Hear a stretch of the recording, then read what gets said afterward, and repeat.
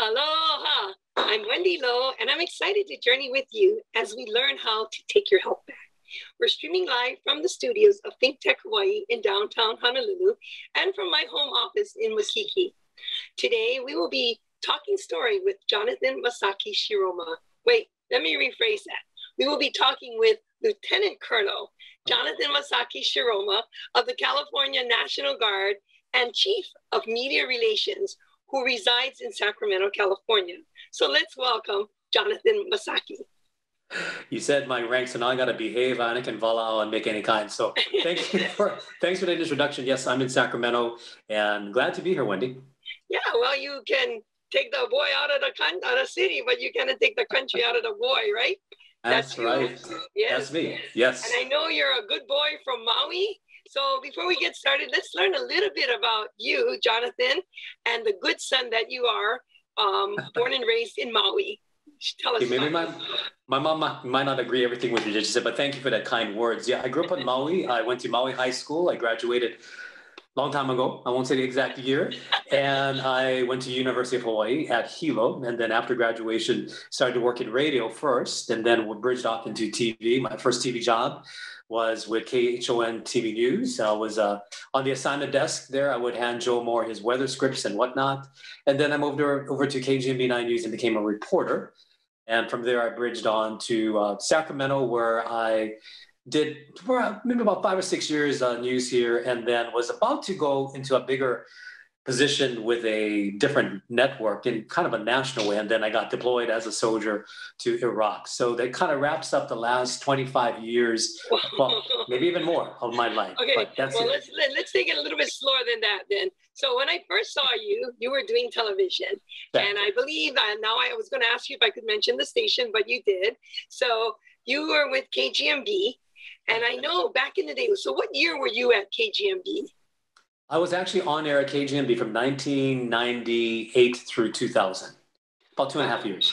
Wow. And so that's pretty much, I mean, I, I, heard you were on the other station and then you went to KGMB. Yes. Um, I know that um, every time you come back to town, you always make it a point to go and visit your buddies there. So do, are, are, are there anybody, is there anybody that's still left there while you were there? You know, there's a few. Um, Mahealani Richardson, as you know, she is she came back from the mainland and is at KGN, well, Hawaii News now.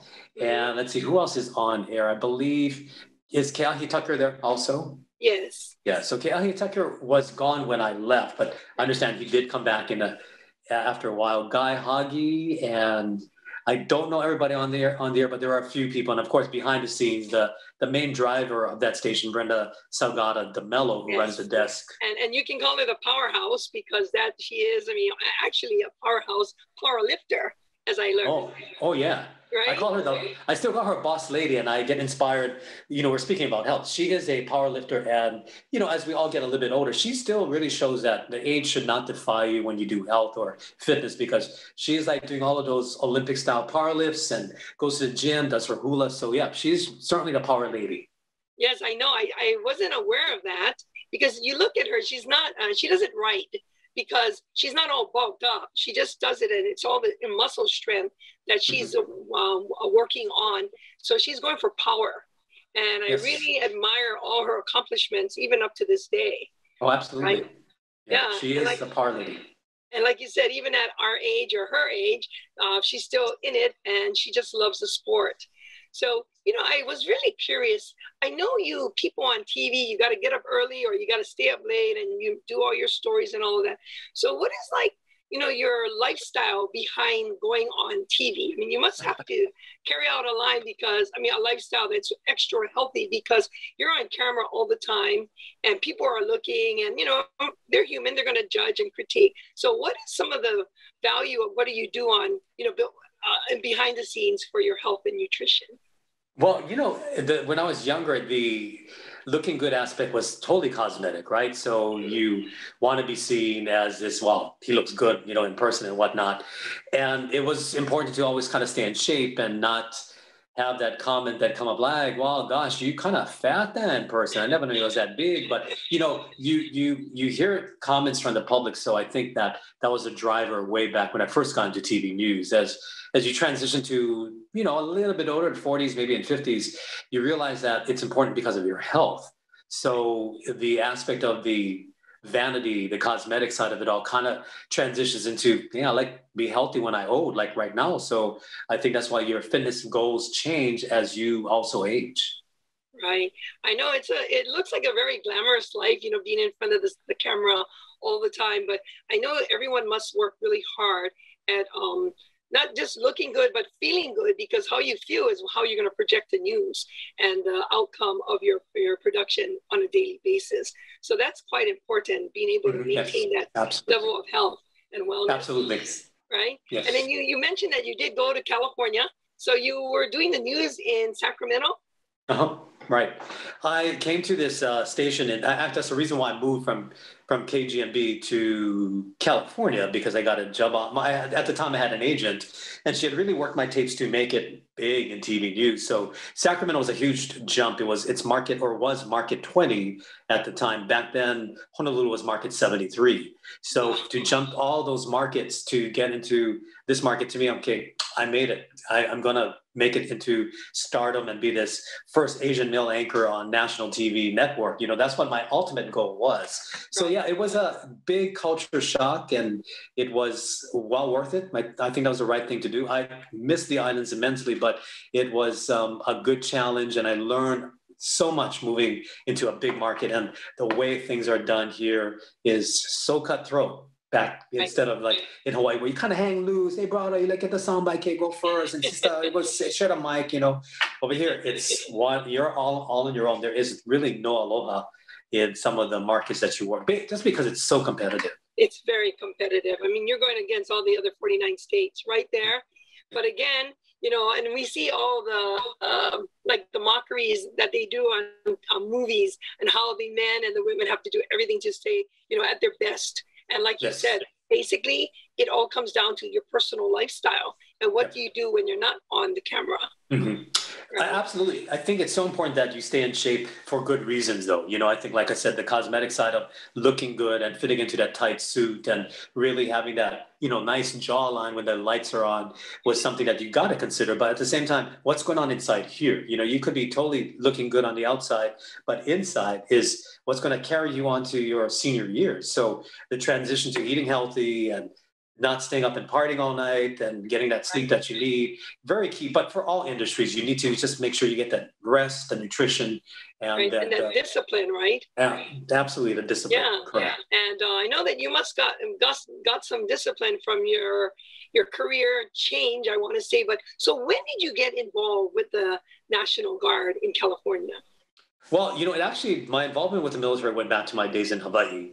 I was uh, your traditional guard soldier where I would just go to drill one week in a month, two weeks out of the year. It was fun. Yeah, raha, boo, boo, bam, bam, play, play with the, your weapons and do all the army drills that you do. Then, you know, the events of 9 11 certainly changed everything for every guard soldier across the nation. And that made us all be activated to the two wars that were going on in Iraq and Afghanistan. So in 2005, I got my mobilization orders. It was a pivotal time for me in my civilian career because I had just gotten a really good offer to take my career to the next level. Unfortunately, I got the deployment orders to Iraq at the same time. So it came down to okay, I signed up for this in peace meaning my army contract do i bail on it now or do i honor what i went to training for and go forward with that? So i had to respectfully kind of decline that tv offer and my agent was extremely upset. She said there is no way you're going to get this offer when you come back from your deployment. I said i get it but i signed this and i went on to do my military duty is kind of where it kind of ended my tv career uh, because i had two, two deployments back to back. Wow. Now, well what a different um I mean, such so so different your career paths. But then I know that um, being in the National Guard, uh, you served our country. You went and de- you got deployed, and then you were found a way to be able to mix yes. both your careers. So tell us what did that look like? Well, it was interesting. Before I got actually sent to Iraq, the current station I was working at, I had left the original station I came to Sacramento for and was given a opportunity at the ABC affiliate here in Sacramento. And so when my producers and management found out, they say, hey, why don't you do um, a soldier's diary kind of report for us once a week from Iraq? And so I'm like, okay, that sounds like a good, good way to still stay on camera and give good reports. So I was able to do that mixed in with my job in Iraq, which was to take reporters into the battlefield, into the to combat. And it was all the reporters from national and international press. But along the way, I got to do some stories too. So I would do a live shot with my Sacramento station uh, every Wednesday morning. And then, you know, because they would see a network feed, other stations across the nation asked me to start personalizing it with other soldiers that could be from maybe Louisiana. I did a report for Hawaii. I did, you know, many California networks and, you know, just all around here and there because, again, the feed was there. So the producers would see that and they say, hey, there's a local boy here that could do stories for other stations. So that became kind of like of a niche and a really unique opportunity for me in the midst of one of the most challenging 18 months of my life. So that's kind of how it blended together with TV news and being a soldier because of what I did in the military. Wow. See how how you know Keakua just has a plan for all of us. Amen. Amen. You know, yes. he trained you local, you know, in front of a camera, and then you know you signed up to be part of the National Guard, and you did what you had to do. You had some, you know, your as, as you said, your agent wasn't happy when you went, and you decided that that's the career you wanted to go towards. But then you didn't sort of you didn't leave it totally it came with you and you were yes. able to serve our country and have your passion at the same time. So, but first of all, I wanted to say mahalo, Jonathan, for serving our country oh, for, I believe it's 28 years that you've been serving our country.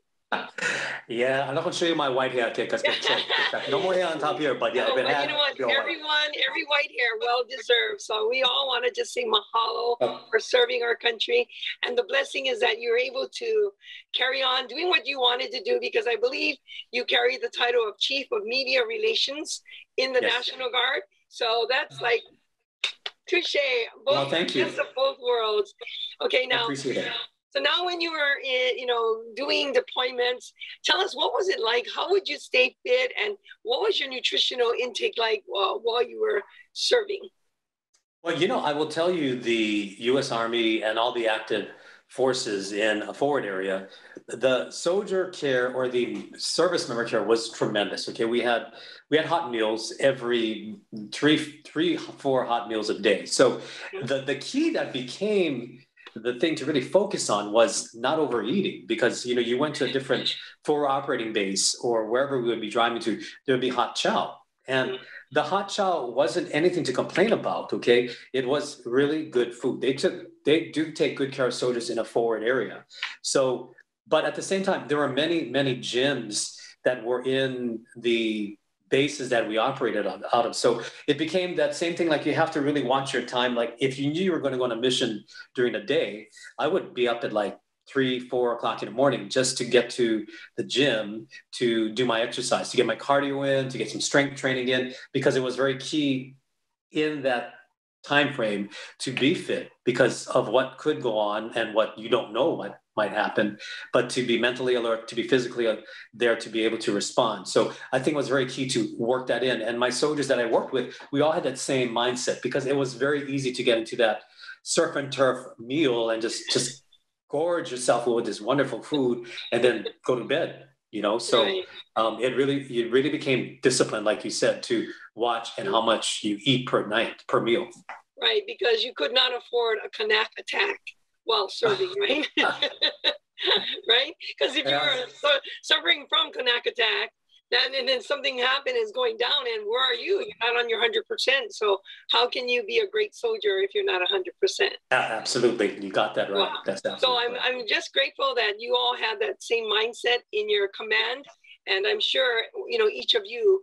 Um, had something to do with that that that's the lifestyle you all chose so that's what we you know what your command produced so touche for that attitude yes absolutely yeah.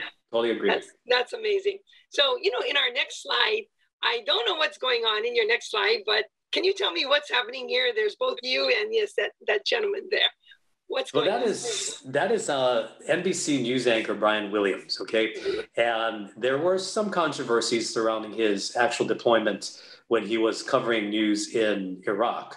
But the bottom line with with him was when I went to arrange, it was a pretty high profile media event, and he was there for NBC. And I walked up to him and just said, This is before the controversy thing, controversial things broke.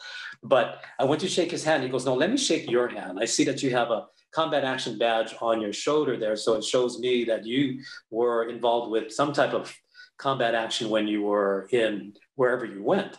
I said, well, gosh, that that's so amazing that someone like you he goes, no, no, you're the one that you American soldiers, you're the you're the heroes here. And it just always like that hit me really hard. Here's this national anchor wow. that, you know, little old nobody me um, is getting accolades from. I thought, you know, it, it, despite what you might say about some of these news anchors or how big their egos are, he actually was very sincere. I felt that. And that's the exchange. He said, I, I want to take a picture with you. So I was very humbled. I was very just honored that he took the time to take a picture with me. Wow. Well, I hope he's watching this show and he, he give him a shout out. So make sure he sees it. So I think he, just retired, actually, you know. So I don't think he's watching, but I'll send. Oh, hey, wow. Brian, check it out. Okay? I'll send him an email. There you get go. Yeah, you get Twitter. it to him. Make sure. so you know, um, I know you rose to the rank of lieutenant colonel. Can you tell us when did you reach that rank, and um, what was the journey like? Well, you know what's so interesting about making lieutenant colonel? My final school that I had to go to attain this rank actually took place at Fort Shafter in Honolulu. Okay, so there there was no openings on the continental U.S. schoolhouses. So I called my buddy who was a sergeant major at the Fort Shafter facility, and he said there was X amount of slots that were open. I'm like, you know, I could, what how how much better could that be to come back home and spend a month training and getting schooled in the islands with some of your peers, and then nighttime go hang out with your KGMB friends, or go back fly to Maui and get mom and dad to come home for dinner and catch the next flight back to Honolulu. So it was the best of both worlds, and I think I ran into you that trip at Willows. In fact, you were doing a few things with the Miss Hawaii pageant, and I think that is correct. Miss Hawaii, and we are like, "Hey, Wendy, what's up?" You know, and I think Willows shut down right eventually, but right. it was nice to see. So it was that kind of homely hominess, not homeliness, hominess to be back in the islands and uh, get my final schooling to obtain the rank of lieutenant colonel. So that's really nothing all that serious, but it, it meant a lot to me. Wow. You know, and I also have to ask, you know, you're still active duty. Uh, I'm serving right now. So what was your life like in the last two years of this um, uh, COVID uh, duration? That's such a good question, Wendy. I actually was in India, uh, Barcelona, and Rome at this time uh, two two years ago. Okay, so I was traveling on this wonderful trip, the trip of a lifetime, with a really great set of friends. And around February seventeenth, um, while I was still in, I believe I was in, I was in India. I, I got an email from my command saying, "We just named you uh, director of public affairs." I'm like, "Oh, great, thank you." And then I get back and then the world started to shut down. And the world is still of course dealing with this pandemic that we know as covid. So my first year on the job was was nonstop. It just went from one mission to another and good or bad indifferent to what the conditions were like outside. It it really tested the i guess integrity of us all to try to remain hopeful and positive and continue to try to bring that hope to the public that you know things will get better. And that was my mission constantly to say to people you know we will get through this. And and i think when people hear that from from someone that's in this services, they get a sense of security or they feel that peace.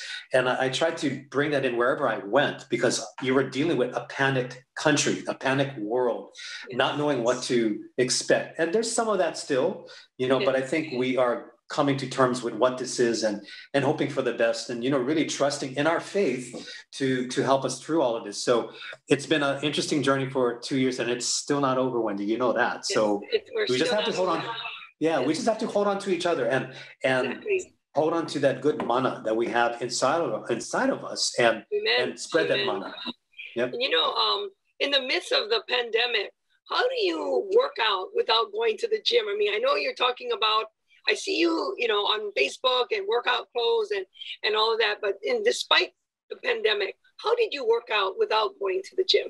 You know, and I also on, a, on the side, I'm a personal trainer too. So, you know, the gym that I was, it was a boutique gym, and sadly, my clients all at the first part of the pandemic, just there was just no interaction, right? You really didn't know what Zoom was, like what we're doing right now. Right. But as time moved on, what I did personally was I turned my garage into my no gym, no excuse kind of scenario where, you know, I had some weights, I had kettlebells, I had, you know, um, the Bosu ball, I had a whole bunch of things that I could use but I really try to focus on body weight exercises because what I've learned through all of my travels as a journalist, as a military member, as you know, just someone that's in the fitness industry is there's going to be places that you just have nothing to work out with, but you have your body.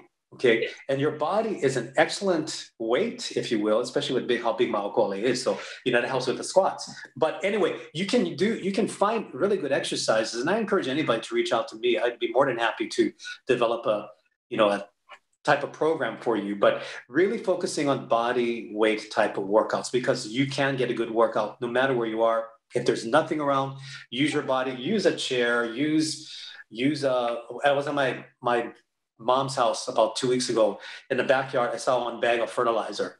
So I grabbed the fertilizer, just did squats, then hold it here, then I did overhead presses, and then I walked around, you know, the block. They thought I was an idiot probably walking with the fertilizer, but there's things you can find that are around your house. Right. And your body, again, is a good way to use that weight. You know, it's so funny because um, that you're talking about this because this morning, actually, on the news, um, there was a they, they, did, they did a feature story on this guy. I think he must have been like 400 pounds. Local guy lives in Makakilo side, and um, 400 pounds, and he, um, I don't know how long ago, a year or so ago, he looked in the mirror and he said, Wow, is that really me?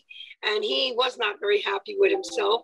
So then he started to go to the park, like you said, and they show him on the park at the park with his kids rolling around on the grass and just doing um, sit-ups and doing mm-hmm. so can you imagine right his body weight and for him to do a sit up must have been very difficult. But yeah. he continued and continued. And he started walking with his kids and he did more and more and more. You know that he's under 200 pounds now. Good for him. yeah, so, working. yeah, so we want to encourage him. In fact, I would love to have him come on the show as well. But what they said is that he's now half the man that he used to be, right?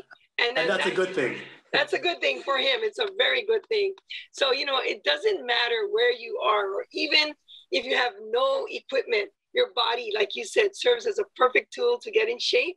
Uh-huh. You are absolutely right on point with that statement. Mm-hmm. I'm, yeah. So, I just want people to know that. And that's good that you bring that up, Jonathan, because that's a very, very excellent thing that people all think we have to go to the gym or do all of that stuff. Yeah. But no, we don't, right? Mm-hmm. You know, and that's a good thing to point out. You know, I think when we're younger, you know, when I was in college, you know, you hang out with the other jocks and you hang with the baseball players, the volleyball players, and the thing to do is get the big arms, get that benching done because you know, impress the girls, get that date, and look really good, right? Uh, but as you go get older, you you have to be really accepting of what you're able to do. You know, with my coach today, we're talking about, yeah, I'm not going to be doing these gigantic power lifts and you know, snatching that weight up like this to throw out my back being at the level or being at that age group that you know responsibly how to work out. If you need a trainer to help you with that, you should get that training um, and really know good form. Good form is probably the best thing that you need to remember because you can do something wrong and then hurt yourself. So you don't want to get that in, in your daily schedule where you have to address a modification because of an injury. You know, right. So you do it the right way. Right. And we have to be age appropriate. Yeah, absolutely. Absolutely. Right? I mean, like for myself, I'm not a big fan of the gym, pake, or just the commitment, but but I do walk. I walk from my hill. I walk down. I go to Ala and I surf regularly. That's right. I know you went surfer. You was at you was in Waianae last week, right? Yeah. Just the other day was too big though. So again, being real and age appropriate, went back to um, graveyards at Waikiki, and I surfed. It was only like maybe two feet, three feet, but it was age appropriate for me. I got a good three hour workout it felt good. The sun felt good on my body, but that's what we need to do. Just get out there. Just move. Yeah. You know, just absolutely. move. Basically, that's all we got to do is just get out there and move. Right. I, I totally agree with you. You know, move more, intake less. Probably is the easiest way to keep yourself yeah, in check. I better write that down. Move more, intake less or more. Or like less famusibis, move walk two more miles. That's the hard part. Working on that. But it's a it's a happy medium that we have to Absolutely. reach, Yes. right? So, Don- Jonathan, I know that you are a dog lover. I know you love dogs, and that's an understatement. You truly believe in man's best friend is Absolutely. the fur, fur four-legged ones. So I know Yes. that you're a proud papa of three Kishans. I have a Correct. Um, side of you with one, but then I have another side of you with your other three babies. Why Kishans? You know, strangely enough, my first Kisan was was in Hawaii. There was a breeder in Ewa, and um, my wife at the time and I always we were studying what breed we should get. You know, and so the the, the Dutch say Kaisan, we Americans say Kishan. The studying the type of breed that it is, I fell in love with it. So when we got my first Kaisan, Kishan, Omega, she was everything that I wanted. She's very loving, very, you know, a little bit feisty, kind of kolohe, but they're very good alert dogs. They will never ever bite anybody, but they will be next to you constantly. So the picture you see with me by myself is with Koa, and Koa is actually um, he's a he's a rescue. Koa was a, a trained medical alert dog for sadly a lady named Judy who passed away, but she had him trained so much. She actually reached out to me. There's a very heartwarming story, and I'll say it in 10 seconds. She reached out to me in her last days because she saw me on Facebook and she said, she reached out to my breeder, who was the same breeder as who I got my dogs from, and said, I would like you to contact this lieutenant colonel in California to take my dog Koa. Well, his name was Draco at the time when I passed, oh. because I think he would take care of my dog very well. So ultimately, that's what happened. I drove down to San Diego to pick Koa up after meeting him. I remember that's that. what he's I do remember Yeah. that. Yeah. That's why I have him now. I renamed him Koa because he was Judy's protector. And then my other kolohe boy, you see in the three pictures, sadly I lost Ikaika, my really dark one, in Mhm. February because he was he was ill. So I had to help him go to the Rainbow Bridge. But Nalu, my youngest one, means wave, and he is always a constant wave, just moving and like a big tsunami fur ball coming down Yeah. the aisle. So they're, they're my life. They they really helped me during the pandemic. Oh, because in a- say. Yeah, in addition to working out in the in the garage, they would be my my class. I say, okay, brothers, we go work out, and they would just watch me, obviously, but they would be my my clients. So Yes. they help me, pets, and working out helped me make it through the pandemic. Wow. So you're a great example of a single man that has true balance in his life, your career choices, your companionship with your fur babies, and the love and respect for family and friends, and making the time always to go and visit you with them. That's that's Yeah. I commend you for that. So I know we're running short on time, but I know um, I wanted to say Maui boy does good. So let's summarize your outstanding career in a quick few seconds. And what are your plans for your next chapter in your life? I am planning to move back to Hawaii when I retire from the Army, which is in November of this year, and find something hopefully in the tourism industry. I'd li- really want to be an ambassador of Aloha at my old age. I I feel got that the job for you. I got the right job for you. So you you make the move You and we'll make me. the move on this side. Okay, that's what I okay, do. So we, you know, Jonathan, we have to leave it there for now. We'll continue with your second chapter of your life. But you've been watching Taking Your Health Back on Think Tech Hawaii. Mahalo to Jonathan Shiroma Masaki for talking story with us and serving our country for the last 28 years. Our country mahalos you, and we're so proud of you. I'm Wendy Loh. We'll be back in two weeks. See you all then. Aloha, aloha, and mahalo.